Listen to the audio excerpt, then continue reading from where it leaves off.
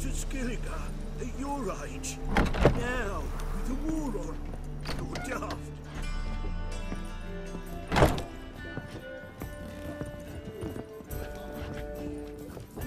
I believe I see a challenger who seeks to subdue Pile Driver.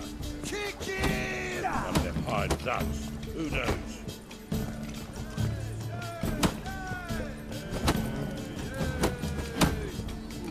Don't be so pale if you ate onions and all. Why don't you all just get off my back? I'll make you weep, boy!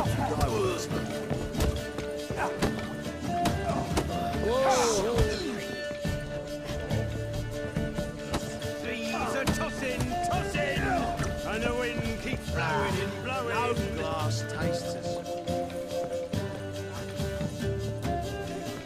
Odd though he is, girls can't seem to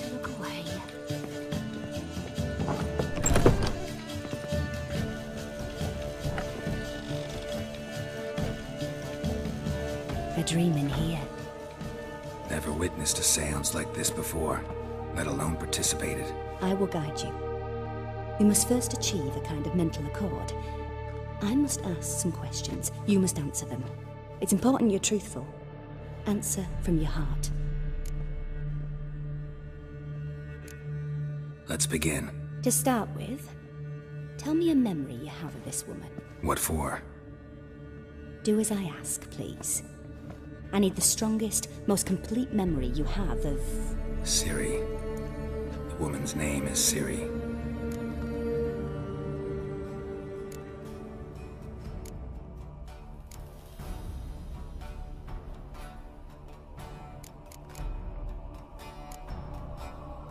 Ciri was orphaned during the Second War with Nilfgaard. Had no idea what to do with a young girl. So I did what I would have done with a boy and took her to Kaer. Figured some physical training, sword work, development of her stamina couldn't hurt. I remember her standing on a crumbling wall. A stone came loose. She lost her footing. Caught her at the last possible instant. Strongest memory, though, is of her coming out of her room one day, wearing a dress and claiming she was indisposed. Knew then that Ciri was maturing. It was unavoidable. I was lost in the face of that. I see. Do you wish to tell me anything more?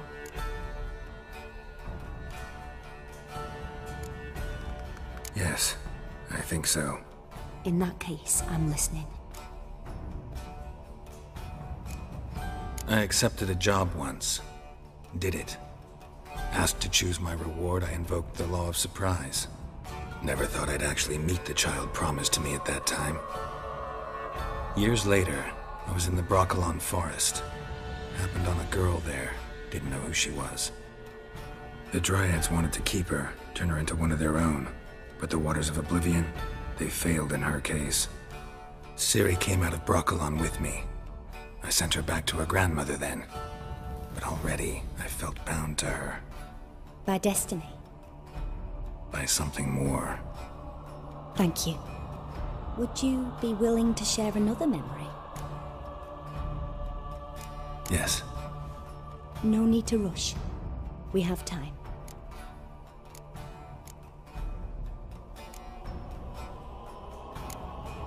it was after her time training at Kaer. After the moment when Yennefer first called Ciri her daughter. We'd been separated. I knew she was in danger. I dreamt of her multiple times. I found her at Stygga Castle. She'd gone there to free Yen and gotten herself captured in the process. They wanted to hurt her. I remember fighting side by side with Ciri on stairs slippery from blood. It was the first time she ever deflected a crossbow bolt with her sword. Told her never to try it again. These memories, they're intense. Do you wish to continue? I have more to say. Then please do. It was in Rivia. The second war with Nilfgaard had just ended. There was still tension in the air. For gods know what reason, race riots erupted in the town. I tried to do something, but couldn't stop a riled crowd. A boy with a pitchfork. He ran it right through my gut. Yennefer lay dying as well. Ciri had us carried onto a boat. We sailed to a place where apple trees bloom eternal. She left us there. That was the last time I saw her. You claim the woman has abilities. Tell me about them.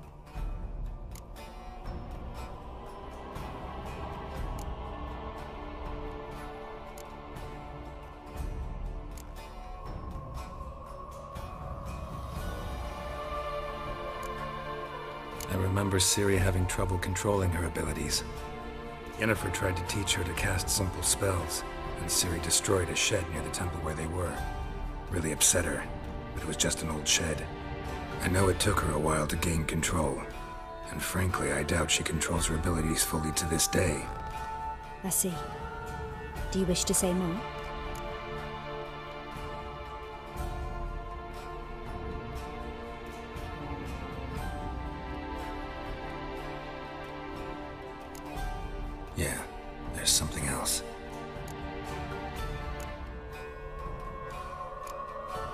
They call Ciri the Lady of Space and Time. Once I asked Yennefer why. She... travels between worlds.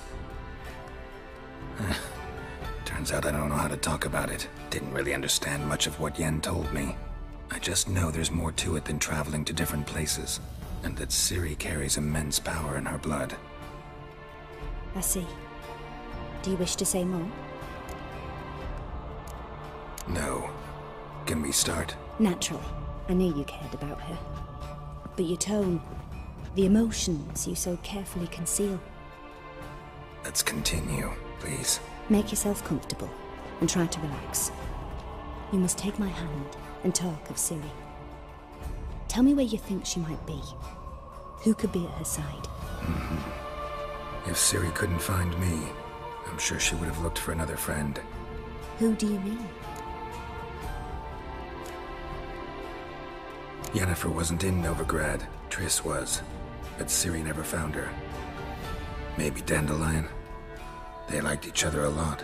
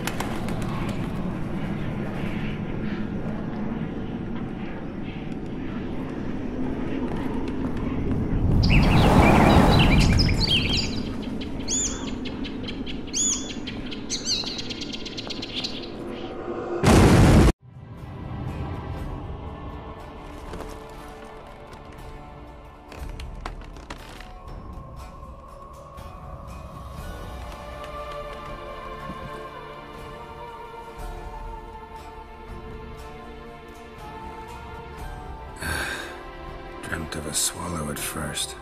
After that, just nightmares. At times, the dreams can multiply. Show the past as well as the future. The swallow. It symbolizes Ciri. She contacted Dandelion. I didn't know he was in town. The poet. Heard about him. Someone left in the Rosemary and Thyme in their will. Thanks for your help. Good luck, Witcher.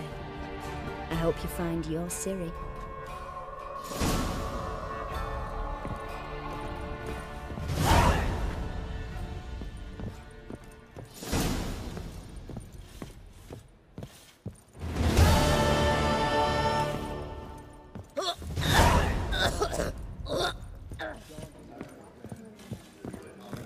Something slimy about you. Oh, the It's my mind. say pay us. I'm not about to deliver myself to those skeleton bastards. Sure.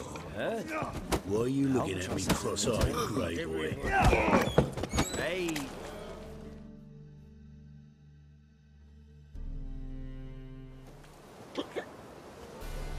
Uh, help some fellas out, Master. We're a bit of coin short another round. Because we're comrades, see? Witcher, ain't you? We're butchers. You slaughter, we slaughter. Except witches are not. Old villagers pitch in. Lords out with their purses. Ladies do like with their legs. Guess I've been to the wrong villages.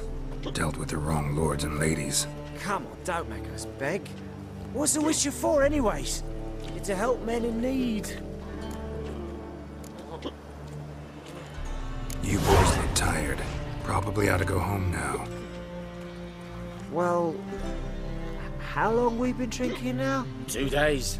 Well said, Master. A home we will go.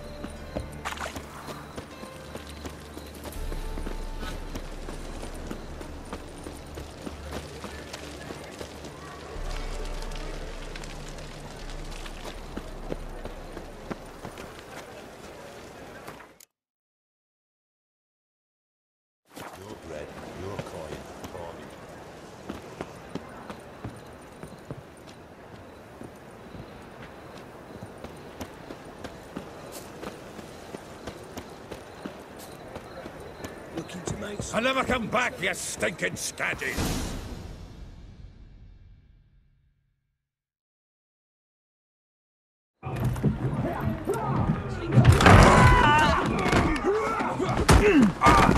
Next time I'll rip your fucking legs off and shove them up your arse till you've toes for teeth!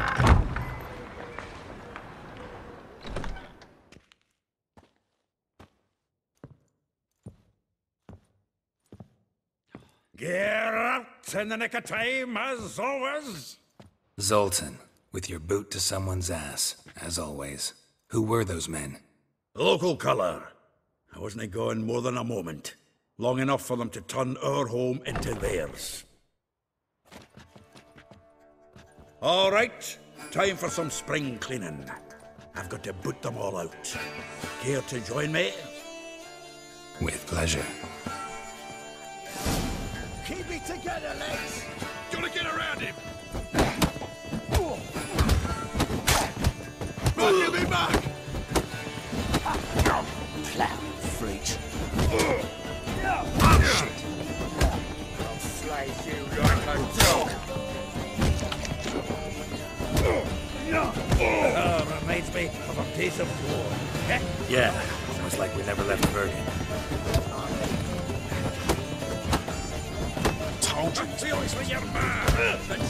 You. Leg it! Ah, I'm pleased. That went well. Now we can greet each other like the gods ordained. Ages, pal. Hey, Zoltan. You look good. Training plenty lately. What with the war on, no Mahakaman meat to be found, but Redanian lagers standing in just fine. You, though, you've withered a bit. Something worrying you? It's about Ciri. I know she came to Novigrad.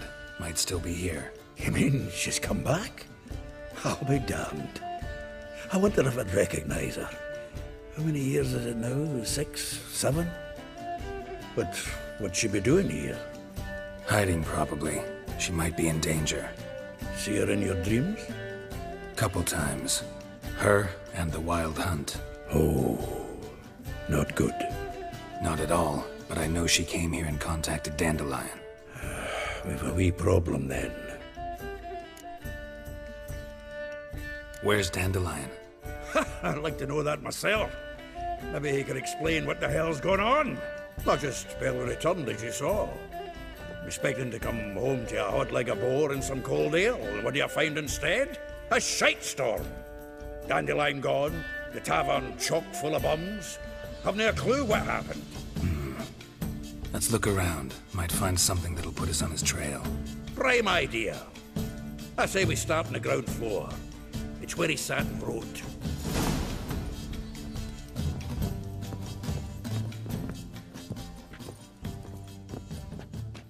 Aha! A note from a grateful muse. Reading someone else's letters. My visage red and hot, I plunged into purest ecstasy, imbibing its nectar. Your dexterous digits on my soul's yearning chords. Hmm. Ten barrels of Toussaint Dry, five cases of sodden triple mead. Hmm. Nothing here. No, no, no, no! That's exactly what we're looking for. It's his planner.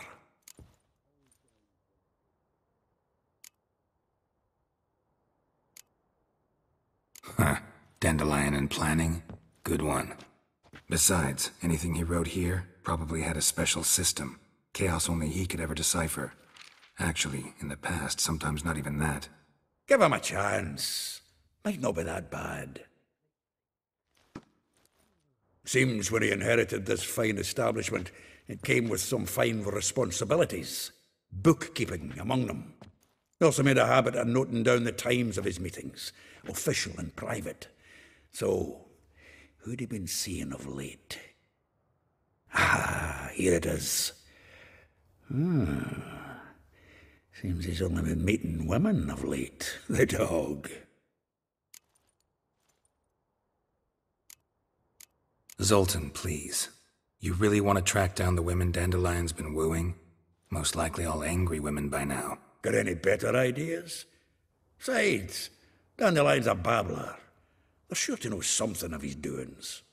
Hmm. We should divide these somehow. Perhaps. Ah, fuck it. I'll ask the lassies in my half, you interrogate the ones in yours. Suit you? Zoltan, wait. This is in verse. And you figure that's unnatural because. Wonderful. Meet me back here when you're done. Share our findings. Right you are. Need to do a wee bit of tidying for I go. Cannot stomach the idea of coming back to this mess. And you'd be wise to read your bit before you scurry off. If you need anything, I'll be next door.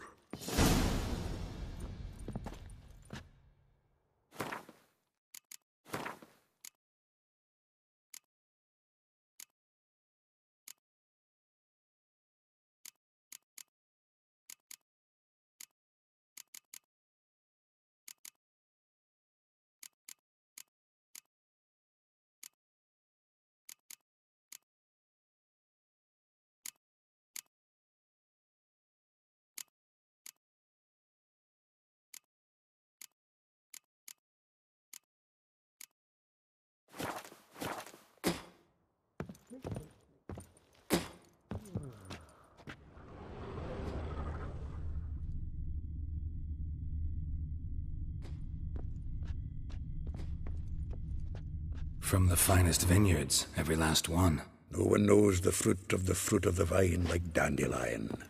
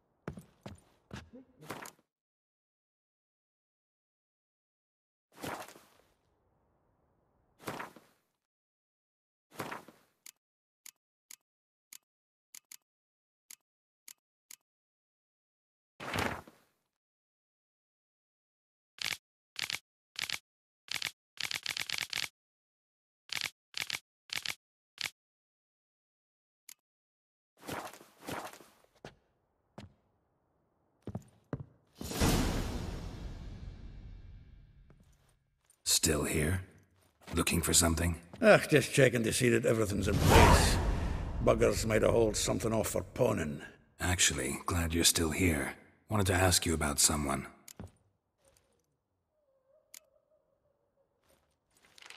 Though well she knows the touch of silken lace, she shuns not straw when gripped in lust's embrace. Molly keeps things tidy for the Baroness La Valette. A baroness within reach and he settled for a chambermaid? Daniel Dandelion's not one to judge folk by their station. You know that. Like he says, in the alcove, we're all equals. Yeah. Guess a true poet observes life in all its aspects, examines it from all perspectives. If I didn't know him better, I'd say he was jealous about this Marabella. Oh, I doubt it. Former pupil. And well, the tales he told me about her. Doubt I want to hear them. Probably better off not. Things between them took a turn for the strange at some point. Meaning? She had him wearing mummers' costumes. Took to calling him Christian, referring to herself as Anastasia. Huh. Truly perverse. He didn't ken half of it. Called him a stallion once. That's a fool took it as a compliment. Till she pulled a bit in the reins into her cupboard. Poor bastard fled out the window. Vespula. Name rings a bell. She threw his knickers out the window. That's her. Hollered something about him being a scoundrel with a voice like a consumptive pheasant. That's her. Threw flower pots at him. Guess soul flames never die. Like a rose abashed of its crimson hue, fair Rosa would sink into humor's blue. She shunned her lessons in civility to swing her dwarf with agility. Dwarf. Never suspected he'd be so humble. Dwarfs what Rosa var Attre named her Gwyhyr. Well chosen, eh? Her dad's an Nilfgaardian aristocrat.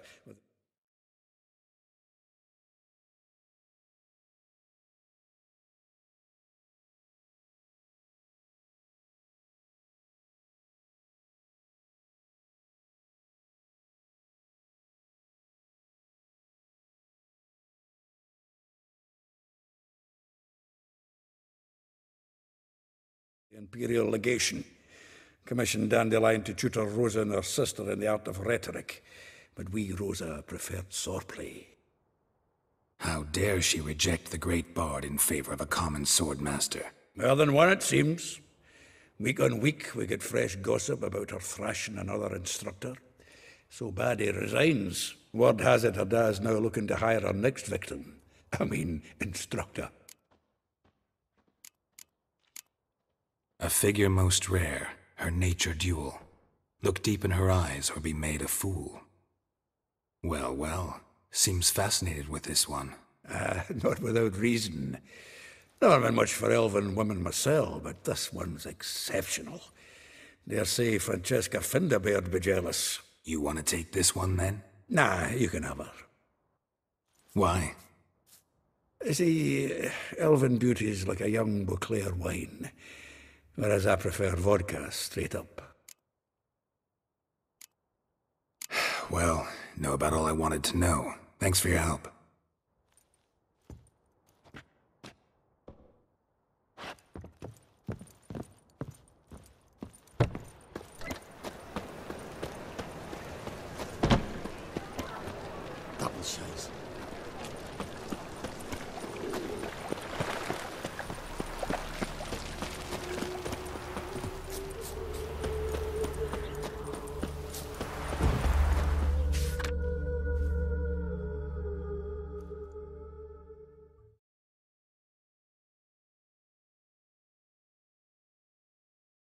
I will get you every last copper.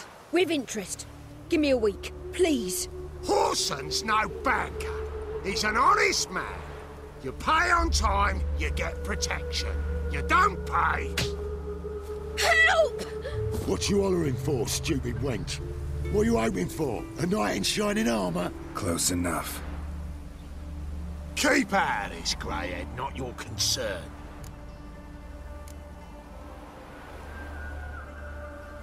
Vespula's got someone else's protection now. Really? Who's that be? The King of Beggars. Made a deal with Junior. This is his turf now. Didn't hear nothing about that. But you have heard what Bedlam does to people who cross him. Or you need a demonstration? Come on, Fritz. Boss wants it that way. It's how it's got to be.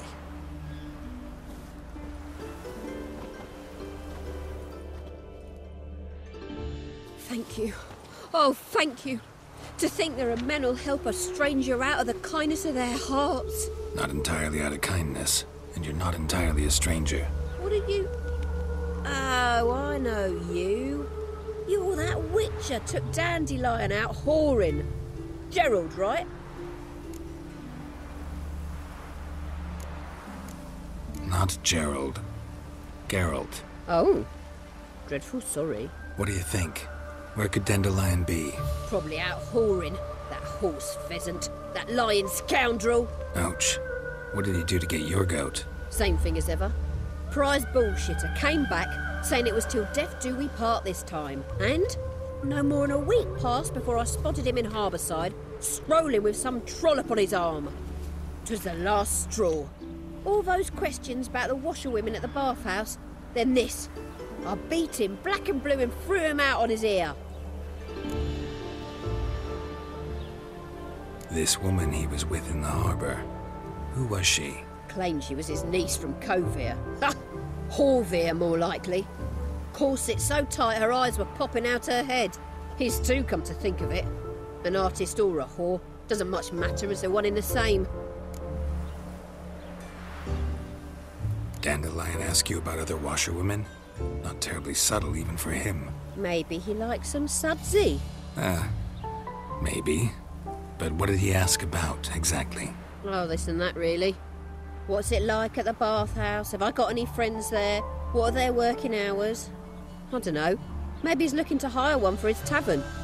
Maybe I got all in a huff for no reason. Thanks for your help. Listen, when I find Dandelion, anything I should tell him? No. I mean, tell him he's a two-faced snake, but it would be nice if he dropped by.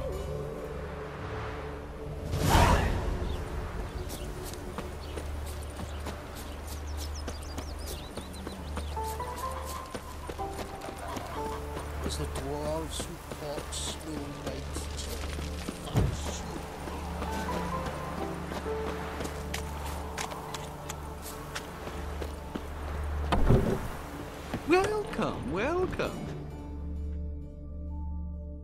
friend of Dandelion's, looking for Elihal. You've come to the right spot. How might I be of service? Need something shortened? Patch your trousers, darn your socks? You, Elihal? Yes. Now pick your jaw up off the floor. Sorry, I thought... Thought Elihal was one of Dandelion's girlfriends. Oh, so it's that. Wait here.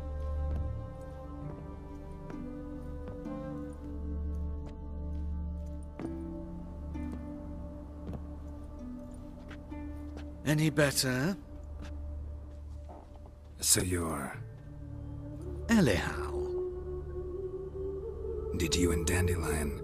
I mean... How did you two meet? I met him one night in a tavern. He was blind drunk.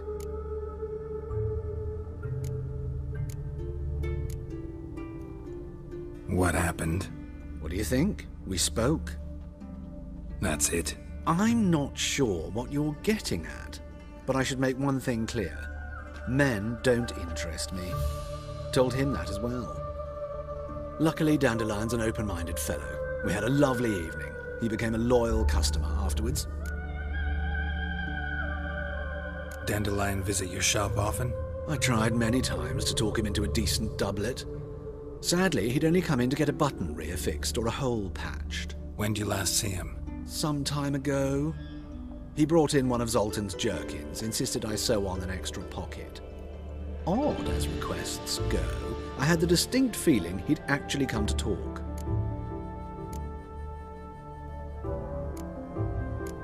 What did you and Dandelion talk about? He asked about anything in particular? Hmm, let me think. Had an ordinary chat, really. Although, indeed, he did keep asking about Kalkstein. If Dandelion and I hadn't laid our cards on the table at the start, I might have suspected he had a history with the alchemist. He spoke like a lovesick beau. In fact, he desperately wished to meet with him. Kalkstein's in Novigrad? Wouldn't mind seeing him myself. You're too late, I fear.